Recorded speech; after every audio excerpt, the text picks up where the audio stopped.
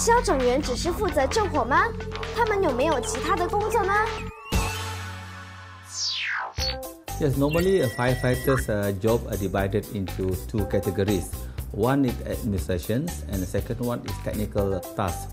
Normally administration we do more on uh, fire prevention, public education and of course uh, all fire abatements whereby we visited uh, buildings to make sure that building is safe from uh, fire hazard. The second one is uh, more on firefighting. Uh.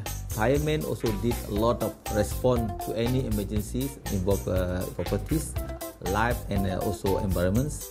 For example like uh, landslide, fire, floods, accidents, we respond when we receive an emergency call.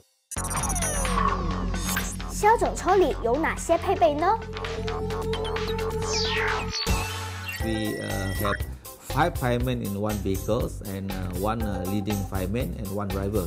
And normally uh, they have their task. When they respond to fire, the moment they came out from the vehicle, they know what to do.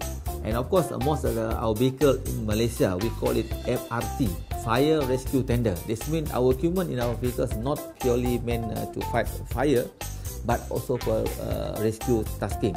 If you look at the fire engine, on the left side, normally all equipment for firefighting. On the right side is more on uh, rescue equipment.